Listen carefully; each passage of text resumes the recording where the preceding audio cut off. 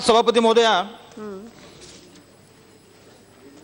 आज जो शून्य प्रहर में मैं इशू उठाने वाला हूँ, वो ऐसा तो पंद्रह मार्च को भी मेरा शून्य प्रहर लगा था, मगर उस दिन शून्य प्रहर रद्द हुआ था।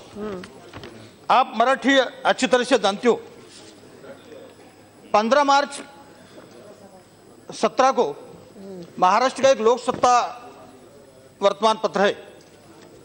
उसमें बहुत बड़ी न्यूज़ आई थी। यूपीआई ऐप घोटाळ्याची व्याप्ती पंच्याहत्तर कोटीवर नोटबंदी के बाद सभापति महोदया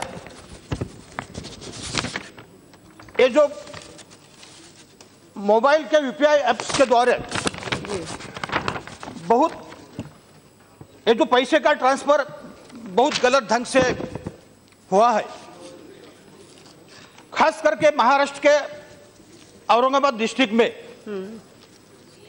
84 लोगों के खिलाफ अभी तक एफआईआर दाखिल हुआ है।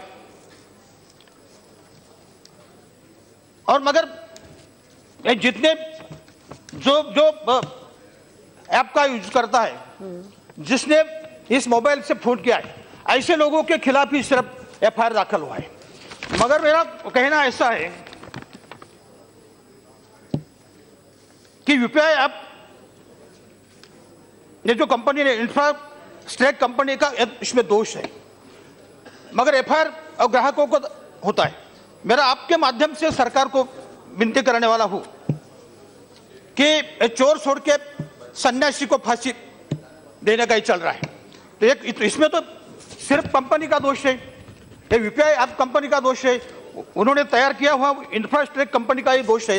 तो उनके खिलाफ एफआईआर दाखिल होना चाहिए ऐसा मेरा कहना है। धन्यवाद।